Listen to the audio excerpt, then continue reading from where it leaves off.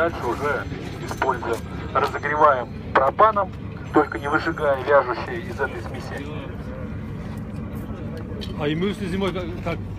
Эмульсия зимой? Да. Зимой битум уже.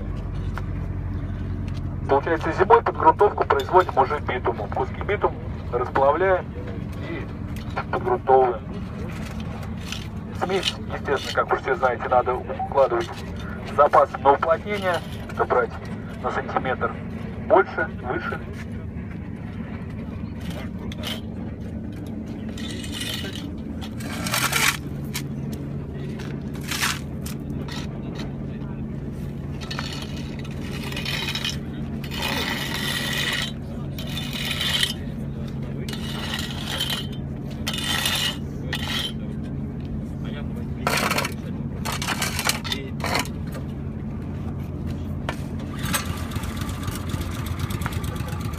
Уплотнение производим либо ручными вибротрамбовками, либо катком.